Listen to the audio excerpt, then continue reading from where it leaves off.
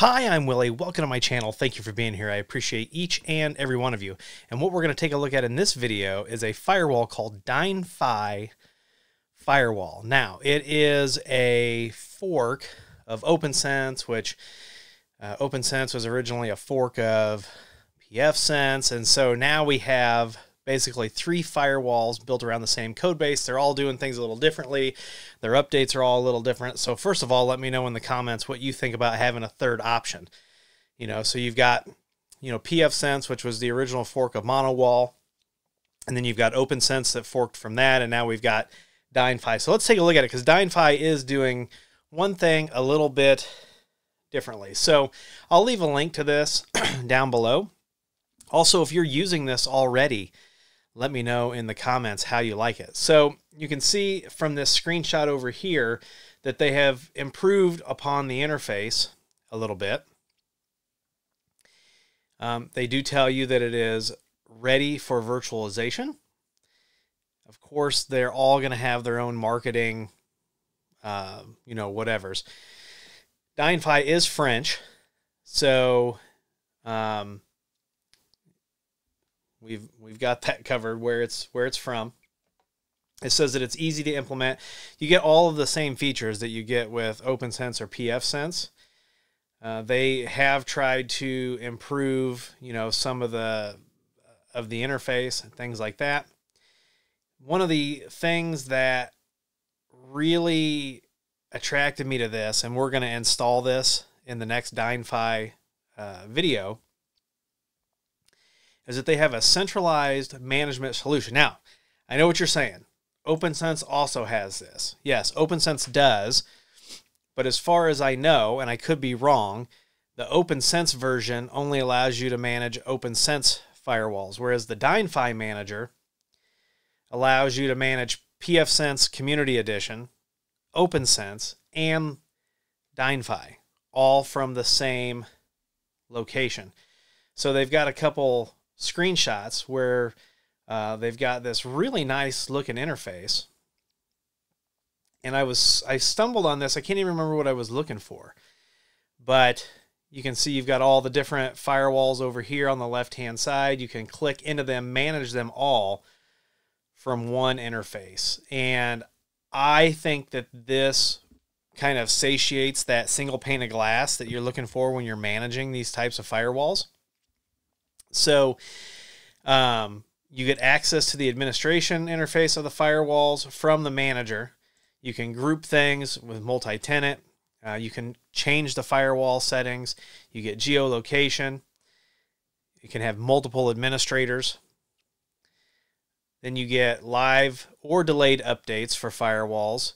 You can access the I'm not sure what Access Collection Creation is. I'm going to have to install this portion of it and try it out. Is anybody using this? Let me know. I mean, I am I'm actually really excited to try this. So I've got a uh, blank Protectli here. It's got nothing on it.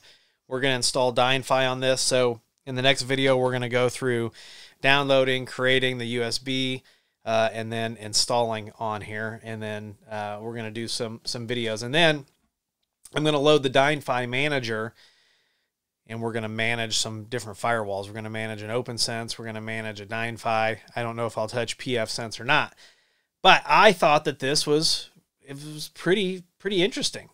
So, and they do release if you go to the there is a, a place in the forum that they have where you can look at their release notes. So if we go in here, where was it at? Might be under announcements. So like May 24th was their uh, latest release.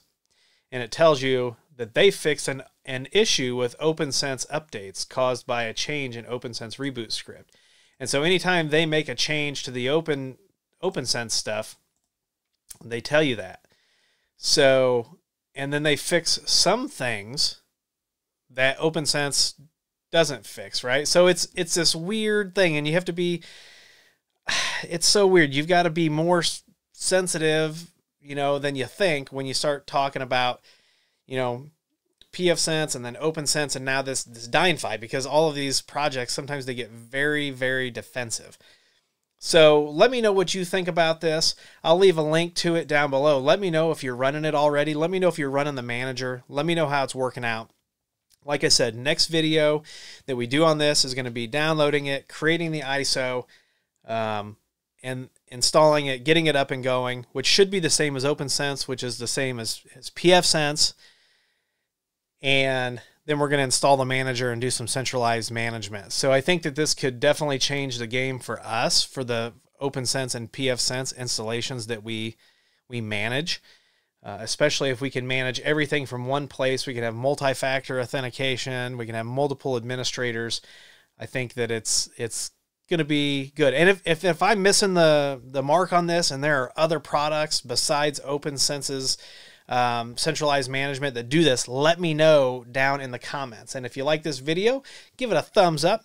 Please subscribe. Please comment, share. Please follow me on Twitter and TikTok down below. If you'd like to support the channel, I do have affiliate links down below and a Patreon link. And as always, if you need IT consulting, if you need, you know, a once over of your PF pfSense or OPNsense, or even your DynFi firewall, if you need consulting for Synology, voice over IP, wireless, security, all those things, we can help you out. If we can't help you out, we'll get you to someone who can. Go on over to williehowe.com, fill out that contact form on the front page, and someone will be in touch with you as soon as possible. Once again, I'm Willie. Let me know what you think about this DynFi because we're going to roll with it for a little bit. And as always, I'll see you in the next video.